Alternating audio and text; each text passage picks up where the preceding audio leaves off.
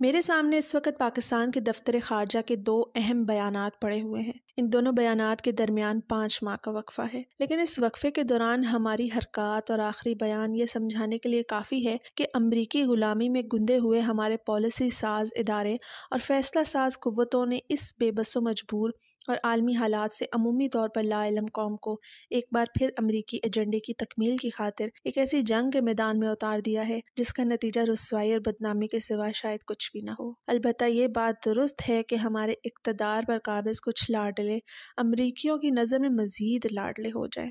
पहला बयान तस्वीर के साथ है, जिनमें दिखलाया गया है कि इंसानी हमदर्दी के लिए हुकूमत पाकिस्तान की यूक्रेन के लिए इमदाद की दूसरी खेप पोलैंड पहुँच गई है, जहाँ से पाकिस्तान के सफ़ीर मलिक मोहम्मद फ़ारूक, दिफाई अताशी ब्रिगेडियर कासिम शहजाद और यूक्रेन की फ़ौज के कर्नल डिमाली संचिंको और लेफ्टिनेंट कर्नल आंद्री आंसोवो ने वसूल किया। पाकिस्तान के सी 130 तैयारे में सात इशारिया पाँच टन सामान लदा हुआ था और यह कार्गो चार जून 2022 को वहाँ पहुँची। इंसानी हमदर्दी के नाम पर अमरीकियों को खुश करने के लिए इस अमल के ठीक पाँच माह बाद 2 नवंबर 2022 को पाकिस्तानी दफ्तर खारजा के तर्जुमान आसिम इफ्तार ने रूस की हकूमत से इस बात का जवाब तलब किया है कि उनके सैनेटर मोरजोव ने एक प्रेस कॉन्फ्रेंस के दौरान ये इल्ज़ाम क्यों लगाया कि यूक्रेन पाकिस्तान की मदद से छोटे एटमी हथियार बनाने की कोशिश कर रहा है, जिन्हें उर्फ़ आम में डर्टी बम कहा जाता है। रूस के सेनेटर की ये प्रेस कॉन्फ्रेंस गुजशत दो दिनों से अखबार और मीडिया की जीनत बनी हुई है।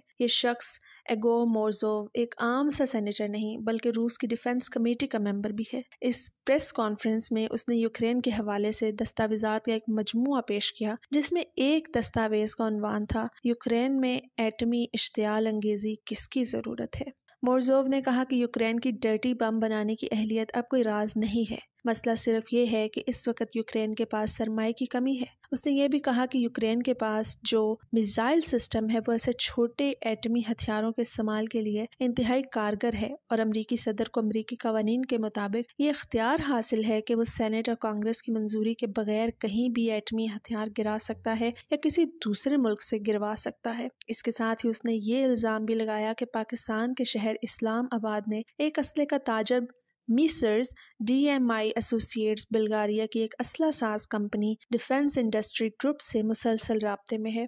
जहाँ से वो असला खरीद कर यूक्रेन को भेजता है। इस तरह यूक्रेन की एक कंपनी मिसर्स फॉर्मेग ने पाकिस्तान की एक कार्गो कंपनी ब्लू लाइन से मुआदा किया है, जो पाकिस्तान से दस्तानी यूक्रेन की फौज के लिए सप्लाई कर रही है। दफ्तर खारजा के तर्जुमान ने रूसी हुकूमत से ये वजाहत तलब करके पाकिस्तान को इस इल्ज़ाम से बचाने की कोशिश की, जो रूसी सेनेटर के बयान से संगीन सूरत हाल पैदा कर सकता था। एक जिम्मेदार मुल्क के तौर पर पाकिस्तान हरगिज ऐसे किसी इल्ज़ाम को कबूल नहीं कर सकता, जो उसके कौमी वकार और सलामती के मुनाफी हो, मगर इतना काफ़ी नहीं। पाकिस्तान यूक्रेन की आज़ादी यानी उन्नीस सौ छियानवे से उसके साथ असला और दीगर मसनूआत की तजारत कर रहा है। इस 25 साल तजारत में यूक्रेन के टैंक और पुर्जाजात हमारी अहम बरामदात में से हैं। पाकिस्तान अपनी गजाई ज़रूरियात में से जितनी भी गंदम मंगवाता था, उसका 40 फ़ीसद यूक्रेन से आता था। गुजशत साल यानी 2021 में हमने यूक्रेन से चार सौ सतहत्तर इशारिया आठ मिलियन डॉलर की गंदम मंगवाई। इसके अलावा बीज, फल, खाम, लोहा और स्टील भी दरामद किया, जबकि पाकिस्तान यूक्रेन को कपास, पटसन, ऊन और रेशम के अलावा फल, खुश्क मेवाजात और चावल वगैरह बरामद करता रहा। गुजशत साल हमारी तजारत का हजम आठ सौ एक इशारिया दो मिलियन यानी इक्यासी करोड़ डॉलर था।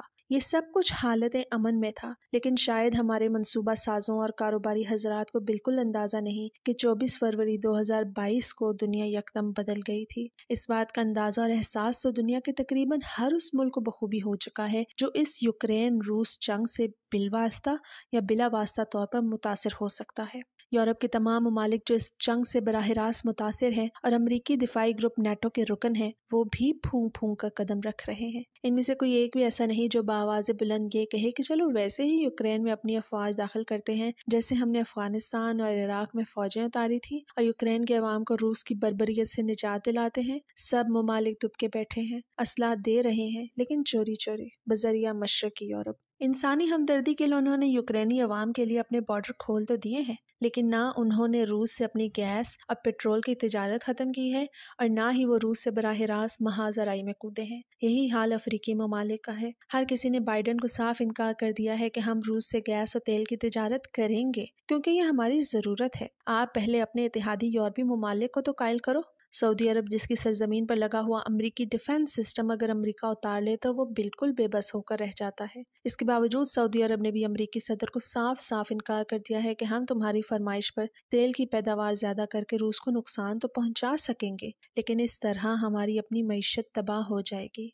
ये हैं वो आलमी हालात और दुनिया भर के ममालिक का रवैया कि वो कैसे अपने हालात और वाक़ात को देख कर इस तेज़ होती यूक्रेनी रूस जंग में मोहतात हो चुके हैं। लेकिन शायद हमें गुजशत चालीस साल से एक आदत सी हो गई है कि अगर हम अमरीका की जंग लड़ेंगे तो फिर यकीन डॉलर आएँगे। हमारे ज़र मुबादला के ज़खायर में इजाफा होगा, हमें असला मिलेगा, ढेरों डॉलर इमदाद भी मिल जाएगी, तालीमी वज़ाइफ और मुलाजमतों के दरवाजे हम पर खुलेंगे। यही सब सोच कर हमारे साहिबान इकतदार अपनी सरजमीन को को बारूद के धुएँ और लहू की सुर्खी से आलूदा करते रहते